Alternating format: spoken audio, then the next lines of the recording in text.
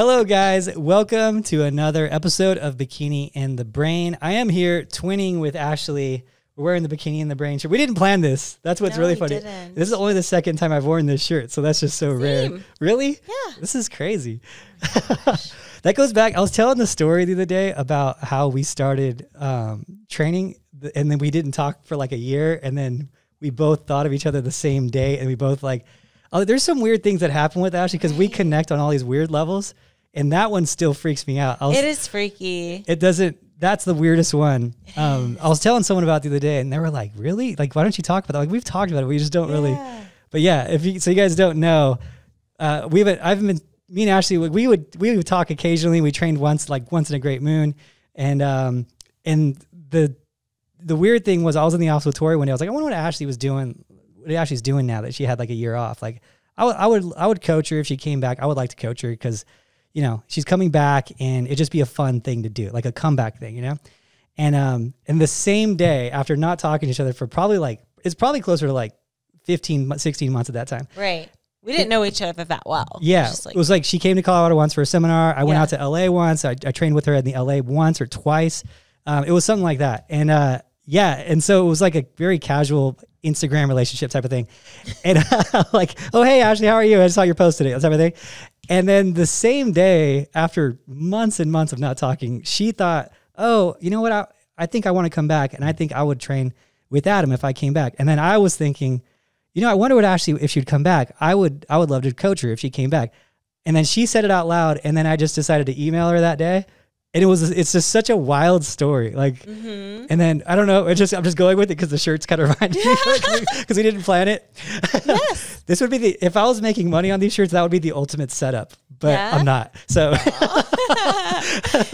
anyway, what do we what do we have today on the episode? More profound things like that. Just- yes. But before we get to that, why don't you tell them where they can find these Yes. t-shirts in case they're interested in twinning with us? They can be our triplet. Yes. Okay. So you know, guys, on these shirts, we have them on YouTube. Um, they are.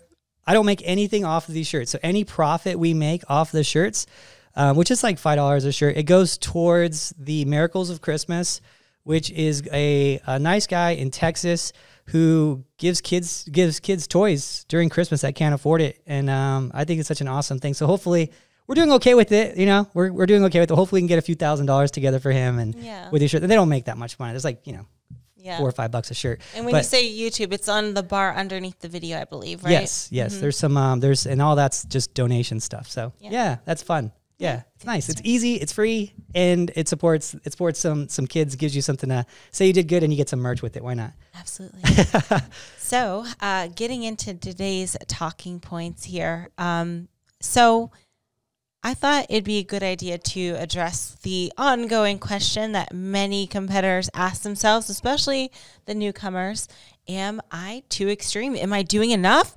Am I doing too much? Because I feel like, you know, especially if you're new to the sport, just like getting into it is like, ah, man, my my friends and family are saying I'm doing too much. But then I saw a girl on Instagram and she's doing way more than me. So I don't know. Am, am I doing too much? Am I not doing enough? I'm so confused because I do think in the sport and with anything, you can overdo things. Oh, yeah. It could become uh, maybe a little bit of a negative obsession, which, you know, at some point, if you're going to be successful and especially at the top, you're going to have to be a little bit obsessed for sure. But sometimes it does become a problem if it's too much, you know? And then on the flip side, if you're not giving enough effort, that is also a problem. Yeah, and I think that it's a really good thing to self-evaluate in a scenario this too, because you you have there's a there's a sliding scale, you know, and that's the that's the thing. There's a very big sliding scale on this. Is okay. When I was growing up and when I was coaching, I said I want to be the best coach in the world. That's all my goal was for like a decade, and I knew that it would cost me a lot. You know, time, relationships. I mean, it cost it cost a lot to like really give it your all but it was worth it to me because the I, I love my I love what I do. Right. The same thing happens to anyone. Any champion of a, a like a big sport, they are gonna have that championship ring. While you see these guys like cry when they get this ring, these like manly men, they're like break down in tears and emotion. It's not because they won. It's because like everything just has led up to that moment. and it's just all comes out, and it's like it's it's the best thing to see in sports. You know, I love seeing.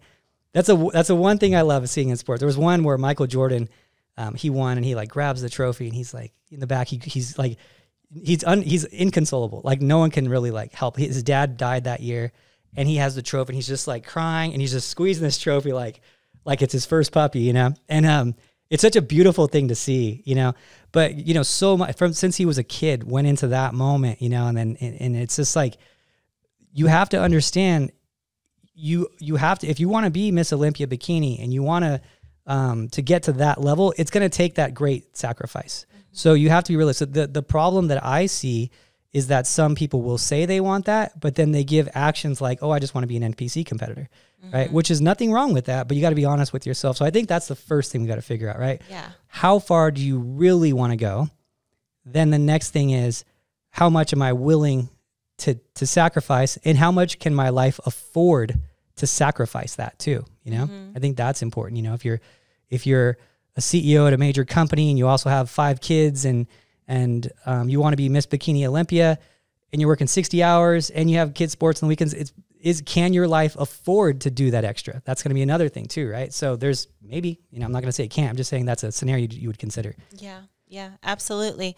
I think more more often than not, we see a lot of people talk the talk, but they don't walk the walk. You yeah. know, they say they want these things. They say to their coach, "Oh my gosh, I'm so motivated. I'm ready to kill it this season. I will do whatever it takes." And maybe they have that mindset, you know, for maybe a few weeks, but that doesn't last. The thing is, you know, I always say this some, the motivation, it comes and goes. It fluctuates throughout the week, throughout the day, even by the hour, you know. That's why I always train in the morning, is because, you know, that's when my motivation is the highest. And then it kind of declines at towards the end of the day.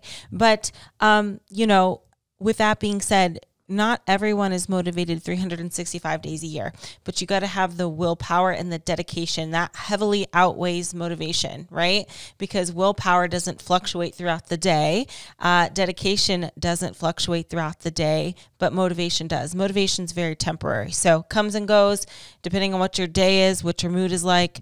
But you need to have that willpower and dedication in order to succeed. And just so you guys know, anybody who's ever achieved anything great didn't do that by just getting by. They didn't just do the bare minimum, even if like that's what's on their plan. They don't do just the bare minimum. They go above and beyond. They do extra credit. So you need to ask yourself, um, you know, how bad do you really want it, and do you want it like is this something that's you're you're speaking out of because you're excited in the moment or something that's like you realize it's a long-term goal and you've been wanting this for a while not just a oh I want this in the moment and not not have your actions align with what you say you want I think that's a a, a really great point you know and mm-hmm. and it's it really does I think it really comes down to evaluating your why you know yeah. and it's and it's that that motivation but you're right. You're not going to have days where you're motivated. You're going to have days where you're just getting through it. And those are the days that really test you. You know, those are the days that are going to be the real test. Anyone could get through a prep that's like, let's say, the last eight weeks. I don't know anyone who's not motivated the last eight weeks, unless they've done like 20 shows and already checked out. They're like, eh, I'm just going through this one type of thing. But you find any competitor who's done like less than five shows or anyone who's doing a pro show, uh, for the most part, doing like a pro show, the last eight weeks, like you don't have to question their intensity and their their dedication it's not those weeks that matter. You know, those weeks, I'm, i know I'm going to get 100% out of 95% of the people, you know, but it's the other weeks. It's the 24 weeks out, the 36 weeks out. I'm in improvement season. I have no, I have no deadline for a show right now. What are, are you doing? Are you working just as hard during that time when you have, when you're nine months or a year away from nationals next year um, than you are now? Cause that's what, when we talk about before, we talked about day capturing and day capturing is this thing, you know, we came up with a long time ago and basically said, Are you taking full advantage of the day? And if you were to have a win or loss day versus your opponents, would you win that day? So every day you accumulate these small wins, you win for the day. You know, I'm trying to get bigger arms than I'm trying to get bigger glutes than Ashley. I've lost most of those days. but today, today I'm going to train my glutes harder than Ashley trained her glutes and today I'm going to win. And tomorrow I'm going to win. And I'm going to keep accumulating these small wins. And I worked harder than Ashley now. And a year from now, or for, for Ashley, probably 100 years from now, I'll have big enough to beat Ashley, right? And that's how you that's how you pass your competition, right? And the next thing you know, the girl who was beating you at the last show, you're you're stomping her now. She's not even in she's not even realistic anymore because you captured the days. You beat her on a daily basis, not on a on a you know a woman I beat her during my prep. I worked harder during prep because you're probably not going to work harder during prep. You're going to be probably be very close. You're going to probably to be very close because you're both going to work really really hard as you can during those preps. But the out of preps, right? Did I beat her that day? Did I beat her the next day? And if you think of every day and you're waking up, you're like you might not even know the girl's name. You say that number 16 who beat me, I'm never going to let that happen again. I'm not going to let that happen again. I'll do whatever it takes today to make sure that doesn't happen. If you have that level of intensity because your why is bigger than your how, then mm-hmm. that's when you're going to be successful in the sport. Because I promise you, a lot of people's hows are, are, are smaller than their whys out there and uh, they're going to do it. You know, you, you see these bodybuilders who are crushing it to this point. You're like, how do you get there? Like, how do you get to that physical level of being able to endure that much pain for what, right? And like the common sense person will stand back and be like, dude, like if we're not in this, if you're not in the sport and you're looking at our sport, so hold on a second, you're not eating, you're irritable, right? You're doing waking up, doing cardio, you're working hard, and then you're in the gym and you're like punishing yourself on a daily basis so you can wear a sparkly bikini and be judged by everyone in basically a shine in a, in a sparkly thong for what again right? And so you're like when you think about it from the outside it is crazy right? It's you look at that on paper it is pretty crazy but the the passion that you have to have to do it. Like you can't willpower your way through it. You need to have passion for it Absolutely. and you have to have a really strong why and you have to remind yourself of that why because what we do is crazy. You know it's mm-hmm. absolutely crazy. Normal people wouldn't do that from the outside. So you have to, you know, you're gonna have to find those, find your why and think about it every day. Write it down on paper, put it on your wall, put it on your door when you walk up, put it on your fridge, you know, whatever the case is, because that why needs to stay with you a hundred percent of the time. And if, if you want to go far, you know, if you just want to do transform, there's nothing wrong with that, but you need to admit that to yourself and say, mm-hmm. I just mm-hmm. want to just transform. I'm, I admit that right now I'm just a health and fitness guy, you know, that's what I am. Mm-hmm. And I think it's great. I love it, you know, but, um, you know, I do look, I get those itches when I go to shows sometimes like, man, I do want to do it. You know, I want to, I wish I had it right now, you know? so but I, I'm realistic, you know, with it. So um, I think that's an important thing. And so if you want to go pro, you know, ask yourself why. What is it going to do for you?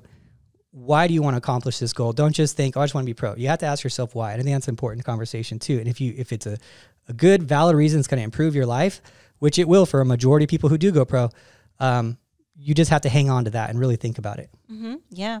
So I think a lot of times people will ask, well, what do I do on the days that I'm like not motivated, you know, and I'm just like, I hit a wall and I'm just not into it, you know?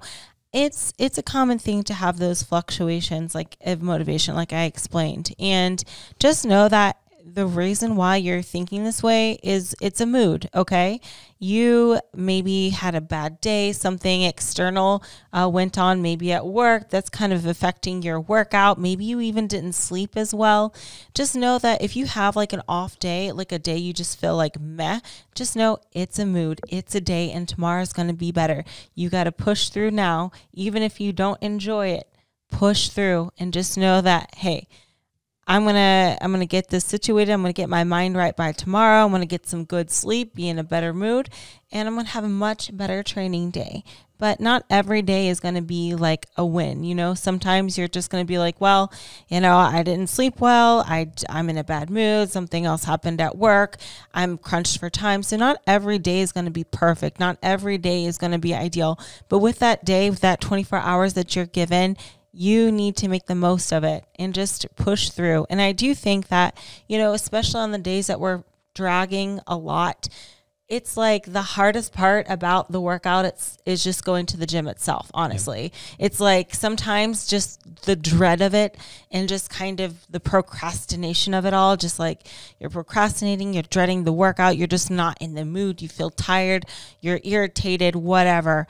But then once you're there, you put on your music, you're in the zone, you're like, you know what? That's not so bad. That is not so bad. Um, I can do this. And it's kind of like you just have to go for it. Stop overthinking it, stop procrastinating, stop dreading. Just go to the gym. And, you know, the same thing applies for the diet as well. When you have those days where you're just like, I don't even care about my diet, you need to stop before you indulge in something that you shouldn't be. Just stop and be like, is this what I'm about to eat? Is this going to make me feel good? Uh, by tomorrow, or am I just looking for that five minutes of satisfaction, right? Because more likely than not, it's going to be like, oh, yeah, this tastes good for the five minutes I'm eating it. And then by tomorrow, you feel guilty and you're like, oh my God, why did I just ruin my diet? I was doing really well. And then I just had this cheesecake. Now that set me back. So, you know, you gotta, you gotta kind of like pause and ask yourself, because I think sometimes we just, we don't really pause and just be like, why do I want to eat this? Is this going to help me? Why don't I want to work out? Should I should I stay home? Like you need to like have that little discussion inside your head and be like, what is going to benefit me in the long run? Because most of the time when you're not motivated, you're thinking of the now like now I want to eat this because it's going to taste good, or now I don't want to work out because I just want to relax at home and just watch TV. But that's not going to benefit you in the long run. So anytime you're not feeling motivated, you need to take a step back and expand out and ask yourself what is the ultimate goal? What is the bigger picture? Do not let my bad mood determine my ultimate goal because if you allow your bad mood to uh, keep taking a toll and that becomes a habit, you're not going to reach your goals. So you just got to push through on some days, you know. Yeah. And you know what? That's funny. That reminds me of another sports uh, analogy that uh, Wayne Gretzky had actually, and it was told to me when I was a young hockey player, um, because I had this bad habit when I was a young hockey player, and a lot of young hockey players have this bad habit that are good stick handlers. So when I was younger, I was more of a st- stick handler than like a defense. I'd try to get inside and, and shoot goals and whatnot. And um, at the lower level, I would do really well. I could I could stick handle, I could get inside and get good shots. But at the higher levels, when we got to the world level, I wasn't getting inside and I wasn't taking any shots, right? Because I wasn't getting inside. And so um, my coach, he said, Hey, you know uh, Wayne Gretzky? And I was like, Yeah. He's like, You ever hear the saying that he said, 100% of the shots you don't take don't score? And uh, mm-hmm. I was like, No, but I like that saying a lot, right? But it's funny because it's, it's, a, it's a funny because it's applicable to what we do, right? 100% of the workouts you don't do don't help you improve, right? Right. Even if it's a crappy workout, even mm-hmm. if it's a crappy off angle shot you know, offline and it's there's no angle and you know it's not going to score, you still could create a rebound and you can get another goal. And that was the whole purpose of that saying, right? It's just like anytime you get a, a, vision on the goalie, like just take a shot, right? Anytime, just create something, you know. And with working out, same thing. There's so many reasons why we can just not work out. Yeah. You know, I'm in my office sometimes. You've seen it, like nine o'clock at night, and I'm like, dang it, it's nine o'clock. I should I should still go to the gym, right? It, because no one's ever left the gym and said, oh man I really wish I didn't do that today. You Unless know, they injure themselves, but yeah, that's the yeah, exception. There is that. there is that. I'm working at a gym. I've seen a few of them. I've, I've seen some bad ones, but you know, so that's the that's the thing is you know, just get to the gym. You know, just get to the gym. You're gonna feel the motivation after you do the first few sets. I'd say, I would say 90 percent of the time that I, maybe like let's say 85 percent of the time that I go to the gym where I don't want to go to the gym that day, and I'm like trying. I'm just kind of like forcing myself through after like two to three sets, I'm like, okay, I'm here. You know, yeah. got my music on loud and I'm like, okay, I'm feeling it now. Like it mm-hmm. took me a mm-hmm. couple sets and then I'm like, okay, I'm good. You know, yeah. so um, you know, find what works for you with that stuff because you're gonna run into more you're gonna run into a lot of days where you're not motivated. It's it's a, gonna be a good percentage of the time. The longer you do it, especially. So I have a like for me, I have this motivational um book on YouTube. What's it called? The book uh, album uh, on YouTube where I've got all these like bodybuilding videos with good music or motivational like quotes and whatnot and and, and speeches, and I'll li- I'll just listen to that instead of music during my workouts. And like a few sets in, I'm I'm good to go. So find what works for you. Maybe you have that go-to partner in your your area. I think that's always important too. You have Sam you train with, you know, you do the booty camp with with Kimber or whoever's on. Oh, you did it with Denitra this this uh, this Saturday, and um, you know, you you have like partners and stuff you could do it with. So like you found your way to stay motivated on a consistent basis and get yeah. those extra efforts in. Um, and so if if that's something you guys need, you know, find your motivational things. Find your that that um, playlist that just hits you a certain way. You know, find that those save those motivational videos on YouTube Find a workout partner at your gym that's doing the same thing that you are that you can call on once a week, twice a week, or whatever. If you're both having a bad day and like have that agreed upon thing, hey, I'm having a I'm having one of these days where I don't really want to work out. Can you can we push it? Can you push me today? Can we push each other today? You know, set those things up to make sure you have that success in life because remember, you got to capture that day. Do what it takes to beat that girl who beat you last time and get just a little bit ahead. And you got you're beating, you got to think of it that way too. You're in competition. This is a competition. So you're in competition with people. Did you do enough to beat your closest adversary that day? Right? Yeah. Did you do enough? And so if you think of it like that as versus like, oh, just a workout, you think of it as more of a sports way. And that's how I always thought about it too like I always thought, okay, I'm gonna capture the guy who thinks he's working harder than me today is not gonna happen. Mm-hmm. That guy, mm-hmm. he's gonna he's he doesn't realize it, but I'm beating him today. Yeah. You know? And so if you start thinking about it that way, I think it's gonna be a little bit easier too because it is a competition. We don't have this um, finite deadline, right, of like a, a race like you would do before where you could see those instant results, right? So it's the hard part about this race. But it is a daily race, you know. It is a daily a daily race that uh like a Ashley hurdle. yeah, that's so, right. It is a daily race. I never is. looked at it like that, but I like that analogy. It definitely is. You know, you're it's a competition. People very forget slow race, but it's, it's a, a it's a very slow race. Yeah, it's a it is when you're in competition, you're going against someone. That means you are going against them that day too. Even though you don't see them on stage that day, you're still going against them. Did you do enough to beat them to better their day today? You know, and that's how you're going to win. If if you think that if you think that you're going to beat them the next time you face that person when you didn't better 200 of the days of the year, but you're like, oh, but I'll kill my last 14 weeks. Like, cool, good luck, guy. I've been training 365, right? Yeah. yeah. So it's that's just how that's not how it works. This is not how any sport works. I don't know why anyone would think it would be that would work in ours, you know, right. which requires pretty much perfection, you know. So absolutely, and I think there's no shame in like just like you said, like having like a workout partner to help motivate you, have like the accountability factor because I feel like there you know, sometimes with this, it's like, I, I don't know how many times that I've trained with Sam. And I, I even said to her, I'm like, I'm really happy I'm training with you today because honestly, I feel like such crap today that I probably just would have skipped it. So having accountability is is good and there's no shame in that whether that be having a workout partner that or a trainer that you see every every week at this time on this day or even signing up for a workout class like I do Orangetheory sometimes, whether that be like one of those spin classes or signing up for anything.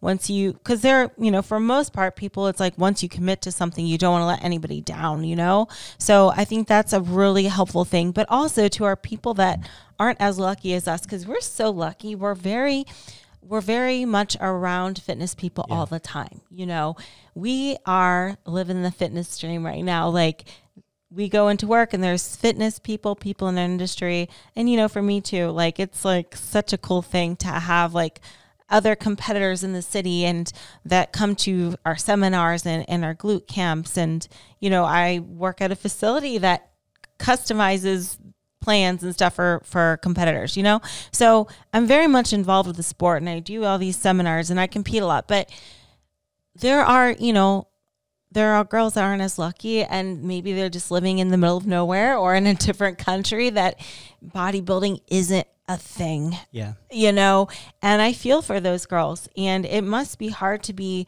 it must be extra hard to be motivated knowing that you're like the only one and there's no one around to motivate and you push you. Because even when i go to one of our, our seminars i get motivated from that. Or i go to a show in vegas here even if i'm or a competition show i should say um, even if i'm not competing there like seeing the amateurs compete it's like motivating for me. I'm like oh i love i love this feeling you know? I, I can't wait till i get to go up on stage. So we're very lucky for that. And, you know, for the girls that aren't really around that kind of um, atmosphere, I would suggest like do as best as you can to involve yourself with the community, whether that be like social media or or even like if there's like a show somewhere that takes place in your state try to make try to make an effort to go out and see it and just you know involve yourself and immerse yourself in the culture um, and i think what one thing that really helped me when I was in Ohio, you know, I lived in Akron, Ohio for the most of my life. And before I was a competitor and before I did this for a living, you know, I competed in Ohio and I trained in Ohio. It wasn't as motivating as Vegas, you know? Um, but what I would do is every single night I would watch the Arnold Amateur uh, on YouTube, like the the classes and and just seeing how that was working and and I just got like the goosebumps every time I watched it too. And then they would call the winners and the overall winner. And I'm like, oh my gosh, I want that to be me someday. And I got motivation just from watching it. And I had the same one pulled up on my computer that I would watch every single night. Yeah. That's so cool. Every single night. And I was like, I cannot wait till it's my turn. So that's you know, so cool. Yeah. I didn't know this actually. Yeah, of course. Yeah. That's mm-hmm. so cool. Yeah. It's like, I, it w- I would just like watched the crap out of it too. It was when Ingrid Romero won, I think the year before. I'd always put that on replay. And I saw the one from the year before that was Naomi Ola that won the overall amateur Arnold. And I would just watch it over and over and over. And I never got bored. It was just super motivating for me. That's so cool. Yeah. That's a cool story. This is a cool story. I can't even imagine. I, I just can't imagine watching the same competition over and over and again. I get goosebumps then, every time too. And then and then winning it. Like that's crazy, yeah. you know. That's like a crazy thing. And then and then winning the actual pro division later. Like that's just a crazy thing to think about. I know. I'm like, like, Cinderella right now. It's pretty. I can't imagine. I can. I can only imagine it because like I, you know, like growing up playing hockey or whatever, like watching Stanley Cup. Like and then one day you win it. Like I can't. I don't know. You know, I, I never had that feeling. So it's like pretty pretty crazy to pretty crazy to to to see that someone actually watch it and then do it. You know, it's cool to see. Mm-hmm. That's a cool thing. Anyway, so I'm sorry I was just like caught off on that yeah. moment. That was just just a cool thing to see and appreciate. You know. Yeah. Yeah, I love sports for those reasons. You know, you see people accomplish their goals. A little girl watching the Arnold, and she goes and wins the Arnold, and then she wins the Arnold Pro, and then she wins the Olympia. Like that's a cool. It's just a cool thing. Sports are a beautiful thing. You know, yeah. they bring out the best in everyone. Um, so now with this podcast, we talked about, you know, are we doing, be, are we being obsessed? What's a healthy level of obsession, mm-hmm. whatnot. So I think what, that's the one thing that I always, I always want to come off the right way too, because I still do think that there is time for balance and you can still beat everyone on the day. You know, I think that that's important too, to, to, to not, because you have to be, have this balance of working crazy hard and being perfect every day, but then also being, um, realistic to the point can are you the person that can carry on like that forever right? And some people i'll see some people where they go i think it's great. I appreciate the effort when someone goes 100% all the time always. But i also i like to look at their their personal life too and i'm like okay are you like completely ostracizing yourself from any other part of the world, um, or to the point where you're not, you don't have any relationships or anything like that. Like you do a good balance of that, and you have a good support system here. And Hugo's awesome guy, and like you just you've have you got a very good system for you. But some people I see they're just like isolated for years, and I'm like, well, maybe we can loosen up a little the reins a little bit, and you could still be perfect. And maybe you do, you know, a macro meal once a day, or a macro meal once a week, or a, a free meal once a week, where you can get out there and and go to a dinner with your boyfriend or you know, if you're having those continuous fights of, oh, we never do it, you know, whatever the case may be. Um, so I do think that there's a good balance. I don't want it to come off the wrong way. I think that there's a good, healthy level of it. Um, I think that there's a necessity for you to be absolutely intense if you want the real intense goals, but you also have to figure out, okay, what's how long can I last like this, and do I need to be a little bit a little bit looser here and there? And I'm not saying go crazy and just don't track calories for a month and gain 20 pounds. That's that is also not balanced, and we talked about that before too. Balance isn't eating tilapia and asparagus only and doing two hours of cardio and sitting in a room and, and ostracizing yourself from your family, your friends, everything until the competition's over. And balance is also not right when you get done with the show, just shoving your face full of food and saying, oh, it's because I needed balance and using that as an excuse and gaining 20 pounds the first month after competing. That is also not balanced. So mm-hmm. there's, there's a, there's a the middle of that is well probably farther towards the tilapia side is is more so the balance part because you're still bodybuilding trying to compete. So um, so that would be my take on it is is be match your strictness with your goals but also make sure you could you're not being so crazy that you can't sustain it for for a couple years. Because this is not a 16 week sport. This is a year sport you know a career could be decades long. So just think about that too. That's mm-hmm. a thing I think about. So, yeah. Um, if you're a transformation person, though, I think yeah, there's nothing wrong with you being kind of half halfway during the off season, still working out really hard, maybe just tracking your macros in the off season, having a free meal once in a while, and then only dial, dialing it in super hard during the 16 weeks. Just don't be that person and say you want to be Miss Olympia, you know, because you're just pretty much basing your entire like luck off of genetics at that point and most most even even the girls with the best genetics in the world are still working harder than you so it's just unlikely you're going to ever catch up you know mm-hmm. so yeah absolutely so whenever you know i i kind of thought of I, I didn't really even go to in my mind the whole aspect of like, oh, your social life, family, friends, kind of extreme. Um, but when I when I initially was thinking about it, I thought like more on the physical side itself of like, um, are you doing too much, right? So, for example, you've said to me before, Ashley, you're the hardest worker, and I'm like, mm, I don't know about that, and here's why. I don't think you should be the hardest worker necessarily all the time. It's about working smarter, not harder. Because, let me explain. I am not doing two hours of cardio a day. You could argue that somebody that does two hours of cardio a day is working harder than yeah, me, right? Definitely. Maybe the one that's doing uh, two a day workouts with that two hours of cardio and on 800 calories. I mean, technically, yeah, they're they're working harder than me. Um, no doubt about it, because I'm not doing that. However, are they are they smarter for doing that? And I would say no. And maybe they put themselves in that position because they were just like we go back to often, the ones that are like all or nothing when it comes to the off season. Either they're 100% on in the in season and the off season they're just letting everything go. It doesn't matter.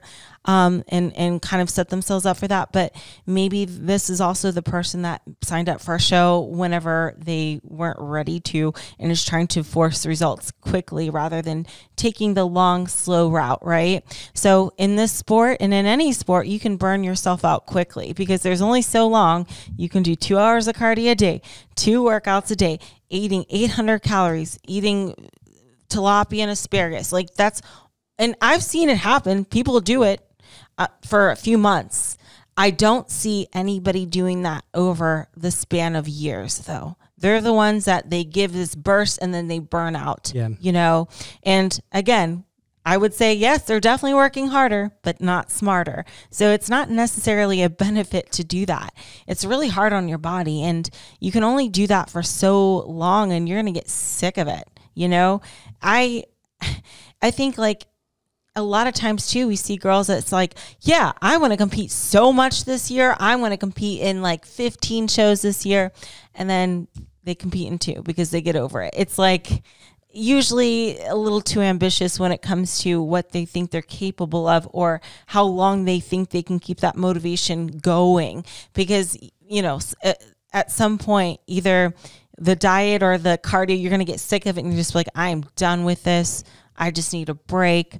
Um, and then same thing with competing too. It's like, yeah, it's fun until they're not doing as well as they wish they would have or not not placing well then it becomes less fun so a lot of people have these big uh, ambitious goals and they go so hard and they they give like 110% and just burn themselves out and just run themselves to the ground and it's like yeah they they definitely worked they were the hardest worker for that that four months, but they can't sustain that long term. Yeah, I find that the the harder the diet, the the lower the likelihood they're going to be sticking around, like you said. Yeah, I see that the most people who leave the industry are the ones that are doing it, doing the harder diets, the two hours of cardio type of thing. You'll see, and you just see it happen a lot of times too. I see it. It's what's what's really sad, and this is not a shot at any coaches or anything like that, but I do see where there's coaches who will do that as like their go to all the time for their athletes, like the two hours of cardio, the tilapia diets, the, the um, you know, the asparagus, whatever. Um, I see them constantly losing clients all the time too. They're they never get like to the point where they're really successful because they're always in client acquisition stage too. And I'm like, just, I'm like, not even as like a business reason though, but just think about your client. Like, why are they all leaving you all the time? like, why can't you retain any of them? You know? Well, it's because you're burning them all out, you know? And if you're in one, that's a dumb idea. But the only reason I'm saying this as like a, the business side of it is because I hope coaches stop doing that. Maybe that give, maybe that'll give a motivation to keep clients, which will in turn give them a better practice and which will in turn keep us from burning competitors out as an industry, right?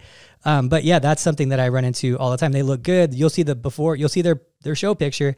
You'll be like, oh, their show picture. She did good. She won her competition, and you like she just disappeared. Whatever happened to her? And you reach out to her. She's like, oh yeah, I, I just couldn't do that diet anymore. And I'm like, damn, you had really great genetics. Like, why did you have to do that? And then you also the other thing I find is when people diet that hard, they have that they have that uh like we've talked about it before that kind of socially awarded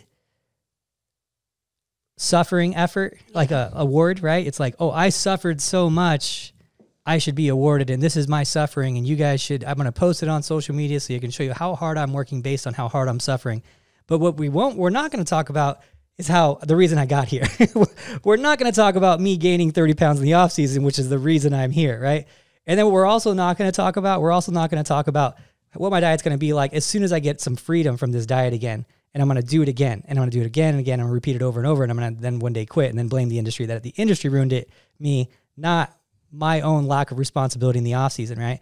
And so the the harder the diet, and I always say if you can't sustain the, the, the diet and effort, then you're not going to sustain the results, right? There's a there's a correlation of that. So like with your diet and your cardio, it's not that much different than when you're in your off season. You know, that's the that's the thing, and and that's what I always tell people. They're like, well, how much time should I commit, and how much this? And I'm like, it shouldn't be that much different than what you're doing now. If you're if you're already a fitness person you know, one, if you're already, even if you're considering doing a competition, you shouldn't have to lose more than 20 pounds. If you're already that fit and you're doing bikini, you weigh, you know, let's say 120 on stage, like it's pretty realistic for you to be 20 pounds over stage weight. And you're like, now you're thinking about doing a competition, right? Like you shouldn't have it's a transformation every single time you get ready for a show. So if you're already fit and you only need to lose, you know, 15, 20 pounds to get on stage, and you're already doing 20 minutes of cardio four days a week and eating, let's say, 2,000 calories, is it really that big of a difference to go to 40 minutes of cardio and 1,500 calories? Like, it's not, people are like, oh, it's going to be such a difference. I just can't. I'm like, hold on. You just need to lose a little bit of fat. That's all prep is, is you're just mm-hmm. losing a little bit of fat. That's it. There's no difference of losing fat as a transformation client as there is as a prep client. Besides, at the end, it might get a little bit harder to get that extra fat out. It's a little harder at the end. But other than that, fat is fat. You're just, you know, using energy. that's that's mm-hmm. really the difference. So you're going to be using a little bit more energy than you're using before. It doesn't require you changing your entire life to go through a, a full prep. If you're already fitness focused, it's the people who weren't who are like lying to themselves saying they're fitness focused when they're really, you know, up 30, 40 pounds in the off season and then now they're like, "Oh, now I'm suffering and prep is so hard and you guys should like like my post because I'm showing you how hard it is and how hard I'm working." And then as soon as I'm done with this, this was so hard, I'm just to blow up because I can't, I, I can't even, I have zero balance in my diet, right? So that's, I think that we could, yeah, there's a lot of arguments for working, you working harder, right? you could look at it as okay she works harder on you could look at it as you work harder on your diet for sustained periods right oh yeah, yeah. more of like over a long period of time over long sure. periods for sure yeah that's that's a good that's one of the things i love about you in the sport and representing the sport and shedding light on the sport and i do think it's changing the sport for the better too. That's the that's the fun thing. I think when one day when we walk away from all this, right, years and years from now, we can look back and be like, remember before we st- when we started doing all these shows, everyone was giving a shit. Everyone was saying you can't do that healthy. You can't do that. Like she's going to burn herself out. She's going to get sick. She's going to do this. She's going to do that. She's going to get injured. Like all these things, right? And then those voices like, where are you guys at now? right? And you see people copying what you're doing now, which they were not doing before. They were they're doing more shows, which I think is awesome. I, I'm all for it. Especially the like the Olympia gatekeepers, you guys keep it down to keep it down to 25. Keep that, keep those gates, keep those we're, gates. We're gonna need some help. You know, I'm all for it. I'm all about the Olympia gatekeepers. So you know, we don't need 57 girls on the Olympia stage. So um, it's it's really cool, but it's changing things. You know, you see it used to be, you know, for the people were bulking, they're doing one show a year, and now you see top pros are doing multiple shows a year. They're saying like in a year, they're saying five times qualified for the Olympia, three times qualified. Like it's kind of a cool thing. Mm-hmm. When it used to be like five times national. Uh, nationally qualified like an Instagram now it's like five times yeah. like Olympia qualified or whatever. So it's like it's a cool it's a cool thing to see. Um, but I think what's really the the the thing that you're doing, you know, with with doing competing a lot is you're showing that you can sustain it, that you can still make improvements while doing it this way. Um, and this is something you're going to probably, you know, and this is like how I can like. It's kind of weird. It's, it's kind of deep here. Okay? okay? a little bit deep, and you're going to be like, Adam, no, it's not uh, like that. But it's I just know how you are. Okay. But okay, so in my life, I felt like I've been, I've personally been put on Earth, um, you know, by God to change as much of the world as I can through fitness, right? It's not going to be a big part, but it's going to be, I'm going to have my impact, right? And along with that, I'm going to teach people how to eat good, how to get lean. And it's going to have an impact on generations to come because these parents are going to learn, they're going to teach their kids. And I'm going to add lives, add years to those parents' lives and add quality years to those lives as well. That's the important, that's my, that's my gift to the world. And I'm going to honor it because I was, I was, I was chosen for that. Um, so that is going to have X amount of years added to people's lives on this earth. So maybe maybe over the course of my life, I'm going to add a, a, couple thousand years of, of living and quality living to those people, right? Mm-hmm. You're doing the same thing, even though you're doing it through competing. And you're doing it in a way because now you're showing girls, hey, you shouldn't be blowing up after a show. Gaining weight, a significant amount of weight after a show, up and down, up and down, up and down, is extremely hard on the heart. It's going to cause, you know, later on in life, you're going to have heart disease, you're going to have lower lifespans because of people doing this stuff. And you are doing this, the same thing, adding quality years to people's lives by showing this. And people are saying, hey, I can do this too. If she's doing it, why can't I do it? She's just a regular person. And so I think that that is something you're adding. And I don't think you see that yet, but it is something that you're adding to the world. And and I think it's a it's a beautiful thing because it has changed. It has changed the industry. And you, we can't. I know you don't like to be that. I know you don't want to be like, oh yeah, I changed that, but I could see it and I could say it like outside. Like, yeah, you had a huge impact on how people are taking their off seasons more seriously now than they were before because you've shown, hey, I can still compete at the very highest level. Number one American two years in a row, number three in the world. Um, I could still make improvements while being good all year, while staying lean all year, while competing all year and enjoying this and loving it for a long period of time. It doesn't have to be miserable. Mm-hmm. And so that's that's my I guess that's my thank thing. Thank you. Yeah, I always say like if I had like one message to give is like, you know, prep doesn't have to be as miserable as people make it out. Is it tough? Yeah, of course. Because if it was easy, everyone would do it. And what's, you know, what's the fun in that? But it's, um, you know, as long as you do it the right way and you're smart about it, it does not have to be miserable. Everyone makes it a lot harder on themselves and they make it a lot harder than it actually has to be. And because of their off season for the most part, because they take that time as a free for all, you know, and I didn't always think that way too because I was, you know, you know, it was like 10 years ago. Yeah. It's like that you thought you had to bulk. Well, I don't know about how you thought, but as a bikini competitor, I thought like I had to bulk. I was like, man, I got to put on fat. Like, I don't want to eat, but shoot, I got to. I gotta get bigger because this is my off season. I gotta grow some muscles, and it turns out that's not the way to do it. It's not it's it's kind of productive and it just makes it a lot harder on yourself. So I think everyone's kind of got, gotten past that. Although every once in a while we will see the the usual bragging post about how much weight they gained in the off season and we're just like yeah that's not muscle that's, that's not muscle um, but you know so slowly but surely i think we're all as a society getting over that that myth of you need to put on this amount of fat to to put on muscle because as you always say not a pound of muscle was gained from a pound of fat it's yep. just not how it translates you know so i think that's a super important message and everyone needs to be reminded of it every once in a while because i think sometimes too is like you know when you're off season you get a little like eh, maybe a little lazy and you just don't want to check in as much you don't want to weigh yourself and you're just like yeah you know whatever but it's important to keep things uh, on track. And and I always say you don't have to stay as lean as I do in the off season. I'm an anomaly. I'm not saying that's the way to do it, but you definitely don't need to to go so far up from your stage weight, you know? I think a lot of people would be very surprised if they followed me around on my everyday like contest prep.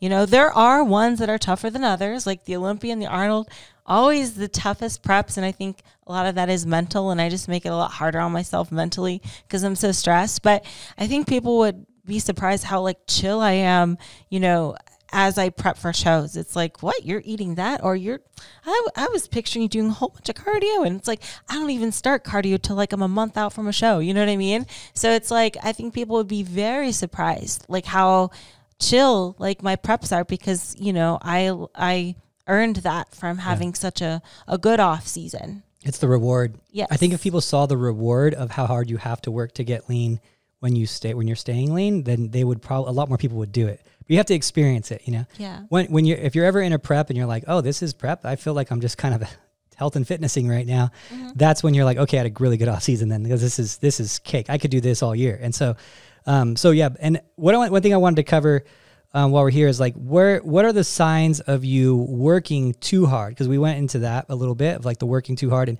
i just did a, actually i just did a check-in today um, with a client and she had it was kind of it was you know we had her on a six day split and she's a hard worker and the, and there's a thing the the intensity when we talk about working too hard there's always going to be this thing in bodybuilding, which is intensity versus volume, you know? And if you go super high volume, you're not going to be able to go super high intensity. You will eventually like fry your nervous system. But, you know, I, I hope that everyone goes hard and then I can decrease their total volume. You just never know with how they're how how hard they're working on a daily basis. Your coach isn't there every single day, every single rep, so you have to go off of the data that you're accumulating. But what's cool is, um, you know, her weight was going up, she was feeling tired, all these things, and I was like, you know what, let's just try a three day deload, just the three days, and her weight went down four pounds this week. But she's only been doing this hard workout for like four weeks. Yeah. So I was like, okay, this is a she's on a six day split for like four weeks.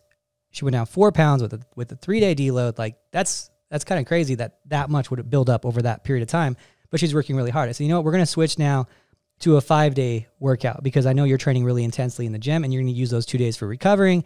And so, you know, you could look at those signs that are there. Are you, and, and that's a really good tell of it, of how often you're needing a deload, how, how your body's responding when you do a deload. Are you losing like a bunch of weight? Are you feeling awesome and refreshed just after a few days?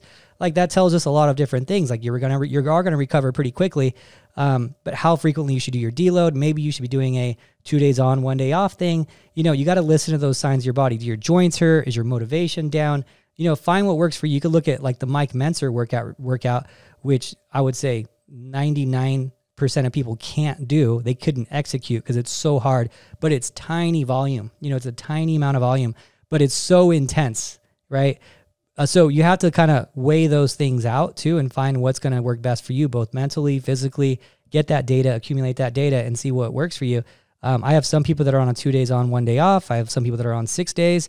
I like six days for a lot of people because, you know, what a lot of the stuff that we do with bodybuilding is squeezing the muscle and, and we're not going like crazy, crazy hard. But if you're going crazy, crazy hard and you're failing in drop sets and all these things, like, yeah, you're probably going to have to go down a little bit. So weigh those two things out over the course of, you know, a, f- a few months, a month, and just start accumulating that data and then you can kind of figure out okay what's too intense for me because it's all relative to the person relative right. to how long you've been doing it you know, if you just started working out, it's a lot different than than Ashley. You know, we could push Ashley like crazy for a long time, and her body's just used to recovering because her base was really strong because she grew from sports, which again were way harder than bodybuilding. So because she's training from that point, um, you know, she's not like she's training from intensity. It's it's a different scenario. Her workouts now are probably lower intensity than her old training was running in terms of yes. stress on the nervous system. absolutely. Yeah. yeah. absolutely. So the base was there, right? So mm-hmm. it's a different it's a different scenario. So you have to be honest with yourself and look at that. What's going to be the right intensity for you? What's too much for you? Is all is all you know relative. So. Um, mm-hmm. So I just wanted to go into that real quick too on this. So. Yeah, I think overtraining though is a lot more rare than people like to make it. I think a lot of people will use that uh, like a over overworked kind of excuse just so they don't have to do that extra amount of cardio or whatever. So, you know, overtraining is isn't necessarily defined by a certain amount of days or time spent in the gym. It's all relative like you said. And there are some signs of being uh, you know, in that state, but it's not as rare as I think people would like to make it. People will like oh my gosh, you don't think that after like three days I would have to take a day off? Like, you know, it's like, well, I mean, I guess it depends on you as a person and what your workouts are like. But for the most part, assuming you're doing a typical bodybuilder workout, probably you don't need to take a, a day off every three days or anything. Um, but again, it's it's all relative, and I I just as long as you know you're challenging yourself and you're being honest with how you're feeling too because of course you're going to feel discomfort and of course you're going to feel sore especially when you're first getting into it but it's not necessarily the sole indicator if you're you know overtraining. Overtraining is overused. Yeah. There's no there's yes. no there is no bodybuilding in terms of what the body is capable of and what we do to the body these days the ability like just the odds of overtraining are so low I mean, it's almost non-existent for almost everyone. It's it's so low because you got the the problem is is we think of things as of now, you know, in terms of overtraining. You're like, this is a lot for me now, right? But when we're actually think about what we're designed to do, be hunters and gatherers and chase a lion for seven days before we can catch it and eat it and drag it back home 100 miles away. Like that's the stuff we were doing like less than you know 150 years ago as humans right we're like we're like three people from there. you know, like everyone has kids like 40 ish. So we're like four people from there, five people from there, right? Like that's not that much evolution where we're just designed to sit in chairs, look at our phones, work out for one hour a day, and then be overtrained. I mean, that's ridiculous. You know what I mean? Mm-hmm. That's so ridiculous. I lift a moderate amount of weight for repetitions, not even for like one rep, right? For repetitions, I'm lifting weight for an hour in the gym, which is really like 25 minutes of actual lifting when I used to chase bears and saber-tooth tigers for food. And my wife, who didn't hunt, would just be bending over, picking up berries and hiking up hills to find bananas and things like that. That was like what our roles were back then. And you telling me that you working out for 25 minutes, lifting moderate loads, is, gonna, is you're overtrained after doing it five, and six you days drove to the gym. And you drove to the gym. Yeah, come on, guys. That's not. That's not. We're we're a lot more capable than than that. Right. You and know? you know what? Somebody might say this too. They might. Be, you might be like oh yeah well my my i trained my upper body so much like my shoulders are so so i can barely even lift my arms. And then i, I might say something like well what are those things you're standing on? Are those legs? Oh you didn't train those yet? Well train your legs then yeah, you know you can you, you know just because one part of your body is sore and and tight doesn't mean the uh, other one's unusable like, yeah. you know that's when i know i get my troopers you know I, will yeah. find out like an injury will tell me who my real troopers are you know because the thought of not working out never crosses their mind like i've had people with like a broken arm and then they'll like email me like frantically like okay so i broke my arm um, it was usually not broken arm, like I hurt their shoulder or something. It's like more common hurt my shoulder and I can't lift for the doctor said for like six to eight weeks. But what I'm thinking is I can just really focus on the legs. Can you create a leg workout so I can like really focus on? And I'm like, yeah, that's that's my that's my guy right there. like that. I have I have um, some awesome women who've had like injury here and there or play a sport or something like that, and then we just do five days a week of legs. We're like, we're just gonna crush your legs. We're gonna get your legs to where they need to be during this next like 12 weeks that you're down and then we'll back off the legs at week 13 and really start doing the upper body and focus on the upper body. So we'll kind of switch the roles. You'll be, you know, really, really heavy focus on legs, get them hopefully like with a year of progress in 12 weeks. And then, you know, and then we do the same thing the upper body when you're ready, you know. So um, that's when you really see that like that that warrior spirit. Because you have two different types. You have people who are just not gonna work out, right? And use it as like, oh, I can't work out because I hurt my knee. Like your whole upper body's fine. Sit in machines. like you're gonna be fine. Maybe you're not doing like standing cable exercises or anything, but you could sit in machines and do that. And so uh, these that's where you see your like troopers, right? I, I right. love I love that part of it. Yeah, yeah, yeah. Those are the people that aren't letting an, an excuse uh, get to them because we all have excuses. Like you said, there's 20 reasons why I I didn't have to work out today, and I could find 20 excuses why I should skip, but I didn't take one of them. So, you know, you can uh, make excuses or find solutions. And the people at the top, the people who are successful, aren't sitting there making a whole bunch of excuses. They're finding solutions. Yeah. They're working around it because everyone has their things. Everyone has some inconvenience in their life, some setback, some hurdle. It's the ones that push through and find a way to make it work are the ones that are succeeding because, you know, everyone has excuses. Everyone. Yeah. yeah. And it's funny. I had that the other day. I had that actually happen um, to me where I hurt my wrist. I don't know if you were there when I hurt my wrist. It was boxing, hurt my wrist.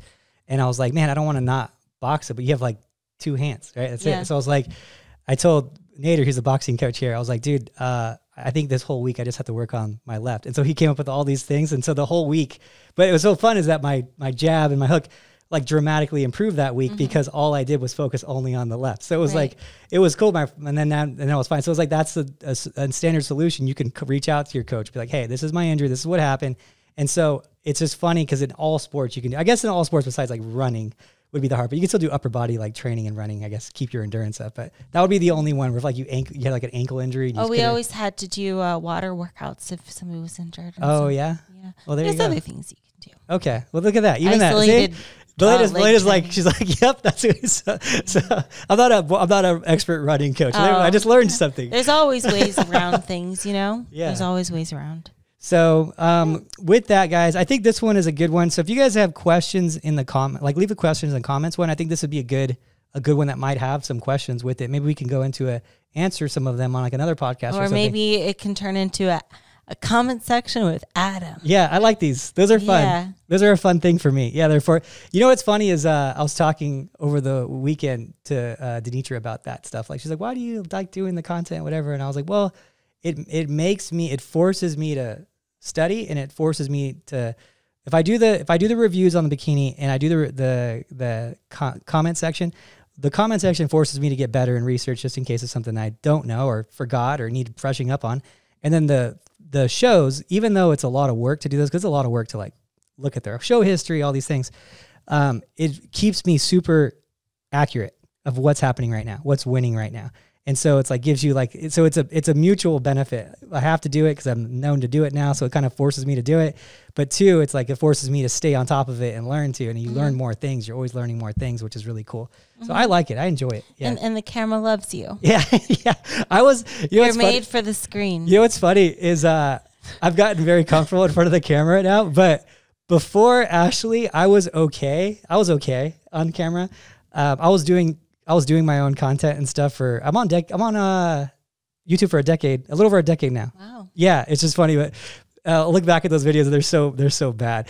But I was, but when I started working with you, you were so good on camera because you were already like doing all your YouTube, all your stuff. Like you were already really camera, I guess, experienced. I was like, man, I better step up like right now because because I can't have all these when Ashley's doing good. I can't have all these outtakes where I'm the weak link. You know, I'm not going to be the weak link here. So I, it, it took me a, a, a, few, but I stepped up real fast. But it, it kind of forced me to be better. Yeah, well, that's good. Iron sharpens iron. You know, you iron sharpens iron. That's the that's the thing. So if you want to be around, that's another thing. If you want to be how you're talking about, you're always being in Ohio and getting around um, people who uh, keep it like more motivating for you and finding ways to be more motivated.